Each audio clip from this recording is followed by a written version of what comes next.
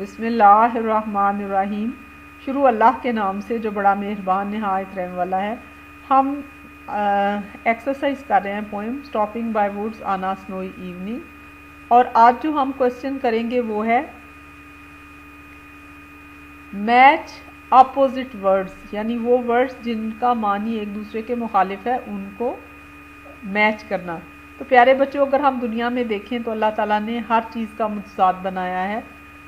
اور اللہ تعالیٰ کہتا ہے، وہی ہے جس نے بنائے رات اور دن، سورج اور چاند اور ہر کوئی اپنے دائرے میں تیر رہا ہے۔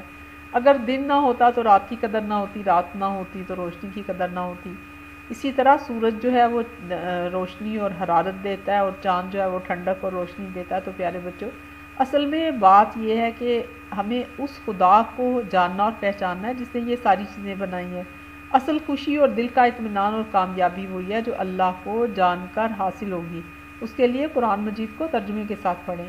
تو ہمارے پاس یہ لسٹ آف ورڈز ہے جن میں سے ہم نے اپوزٹ ورڈز کو میچ کرنا ہے۔ تو پہلے ون بائی ون ون جو ہے وہ ہم ان کے میننگ دیکھ لیں گے اور اس کے بعد پھر ہم ان کو دیکھیں گے کہ کون سا ورڈ کس کے ساتھ میچ کرتا ہے۔ تو پہلے ہے ولیج ولیج جو ہے group of houses situated in a rural area جو رورل ایریا جو دیہاتی ایریا ہوتا ہے، اس میں لوگ جو گھر بنا لیتے ہیں، اس کو ولیج کہتے ہیں۔ اور جو سٹی ہے، اس میں ڈیولپڈ ہوتا ہے، جگہ بہت بڑی بڑی بلڈنگز ہوتی ہیں۔ ٹرانزٹ سسٹم ہوتا ہے، لوگ بسیز اور سواری کا استعمال کرتے ہیں۔ اور اس میں گورنمنٹ آفیسز بھی ہوتے ہیں پارکس بھی ہوتے ہیں۔ اسی طرح سٹاپنگ کا مطلب ہے سیزیشن رک جانا۔ آپ کو پتہ ہے، جب بس سٹاپ کے اوپر بس جو ہے، وہ رکتی ہے تو لوگ اپنی باری سے اس میں چڑھتے ہیں۔ پھر جب وہ لوگ چڑھ جاتے ہیں، اس کے دروازے بند کر دیے جاتے ہیں اور موشن، ان موشن موونگ کا مطلب ہوتا ہے حرکت کرنا۔ اسی طرح سنو جو ہے، جس طرح بارش آسمان سے گرتی ہے، وہاں پہ جو ایٹماسفیرک واٹر ہے، فضائی پانی جو ہے، وہ بھی ٹھنڈ کی وجہ سے آئس کرسٹلز بن جاتے ہیں اور وہ فلیکس کی صورت میں زمین پہ گرتے ہیں۔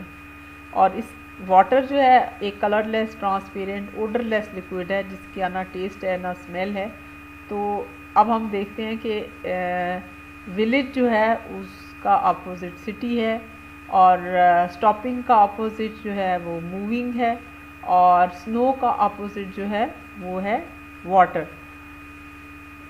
نیکسٹ ہے فروزن فروزن جو ہے، وہ جیسے ہم نے برف فریزر میں رکھتے ہیں تو وہ کیوبز بن جاتے ہیں۔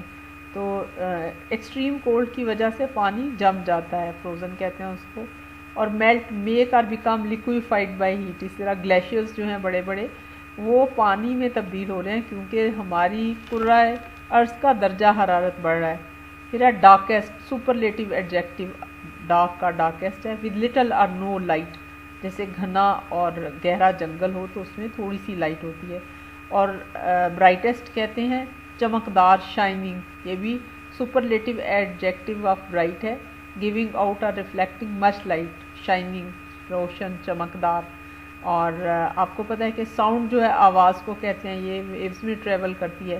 اور یہ کسی بھی چیز کی وائبریشن سے یا ہلنے سے پیدا ہوتی ہے۔